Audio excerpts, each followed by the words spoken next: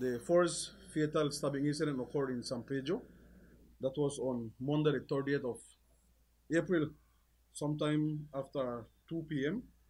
San Pedro police visited the San Pedro Polyclinic where they observed Mr. Gaspar Vargas, a Belizean unemployed of San, um, San Mateo area, suffering from apparent guns and stab wound to the center of his stomach.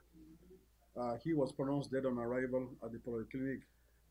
What police have gathered so far is that from early in the morning, the deceased was in the company of his son-in-law, Jose Ricardo Mendoza, along with another male person socializing at their address.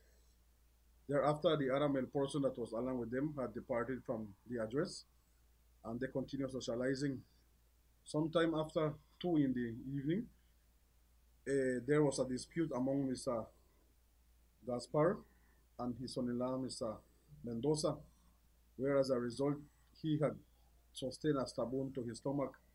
Uh, police were able to detain Mr. Jose Mendoza at the hospital and after that the postmortem was conducted on the on the body of Mr. Gaspar Vargas.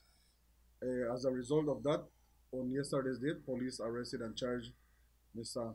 Jose Mendoza for the crime of murder.